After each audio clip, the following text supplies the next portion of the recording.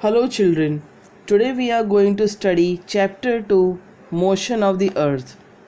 Before we start, it is very important to know what is motion. Motion is the process of something moving or changing place or even just changing position. So here in this chapter we are going to study motion of the earth. Yes, movement of the earth about its rotation and revolution. What is rotation? We have noticed that toys we play with like top or disc they rotate on its own axis. Even a ferry wheel in a funfair rotate on its own axis and also revolve in a circular manner. Same way our earth also move in two way rotation and revolution.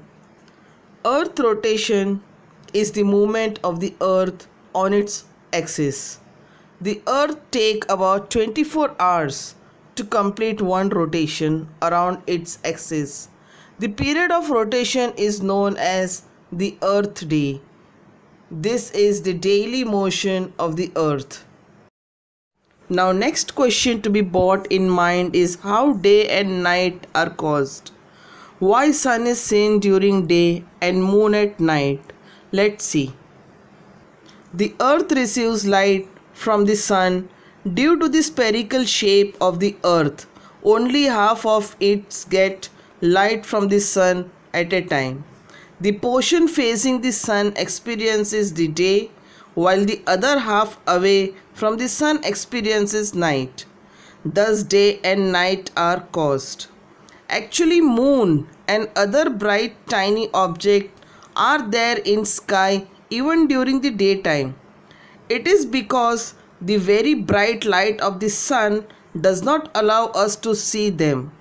The moon and star are seen at night only when sun is facing other half part of the earth. Now let us see what is revolution.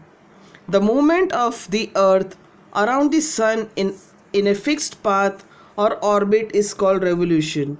The earth takes 365 days to complete one revolution around the sun.